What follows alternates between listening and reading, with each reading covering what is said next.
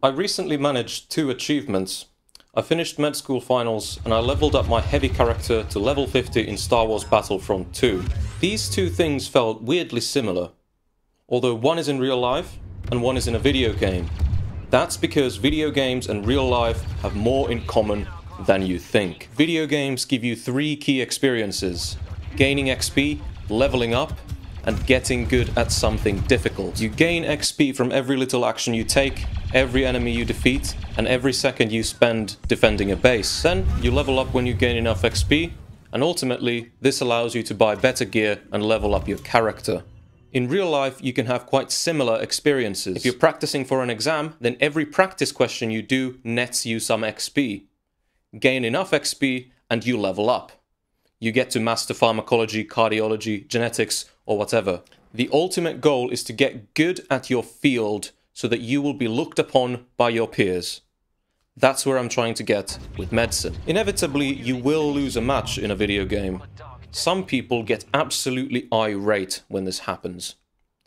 This is exactly because video games and real life rely on the same underlying process. This process is so satisfying and so important that if you don't have access to it in one area of your life, you will do all it takes to seek it in another. What is that process? That process is incremental progress towards a valued goal. The reason why some gamers get so salty may be because winning a game of supremacy is their main source of life satisfaction. I get a little bit salty, but not to the point that I berate my team. That's because I gain life satisfaction from other areas as well. I go to the gym, I study medicine, and I'm building a relationship with my girlfriend. If you don't have other sources of life satisfaction, then you'll rely on the only thing you have. The other similarity is hierarchy. No matter how good you get, there's always a bigger fish. There's always someone faster than you, stronger than you, and better than you. Same applies in real life. Someone knows more, someone gets the job done faster, and someone tells you what to do. Finally, the game always ends, and so does life. At the end of your life, what do you want to have accomplished? What do you want to have done and experienced?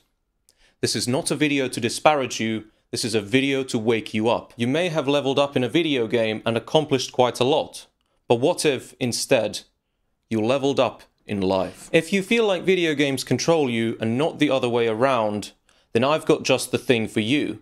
I made an online course that allows you to take control of your digital life.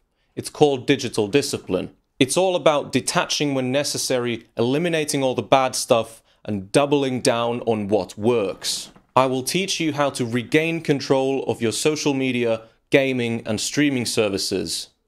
I will teach you how to gain XP IRL by doing deep work. All this is yours for a mere £49, so head on over to aaro.blog slash dd and get started today. Click here for another video and click here to subscribe. Thank you for watching. Bye bye.